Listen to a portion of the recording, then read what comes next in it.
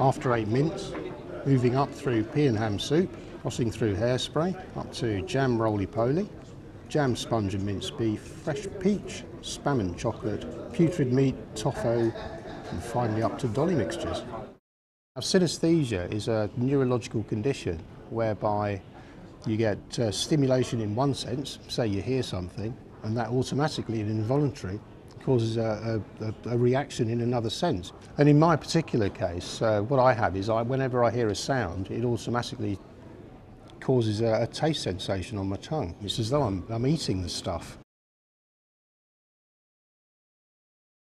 When I'm travelling around, I have um, built up a, a couple of favourites, I have to admit. I mean, that's natural. Tottenham Court Road is one that particularly springs to mind. I mean, I've loved that station. I always have done. And the reason is that Tottenham Court Road produces the uh, the sound of those those three words produces the fantastic taste of sausage and beautifully cooked egg. Absolutely beautiful.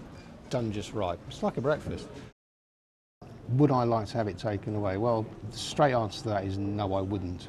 Um, the extra perception, on balance, I find very, very enjoyable.